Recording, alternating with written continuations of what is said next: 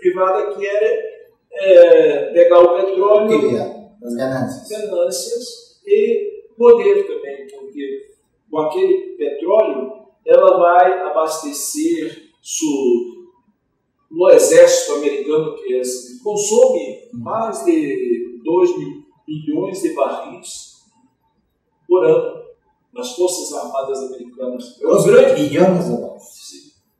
Um grande consumidor de, de petróleo das Forças Armadas Americanas.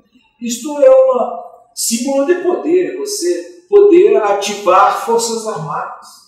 Petróleo consegue ativar Forças Armadas.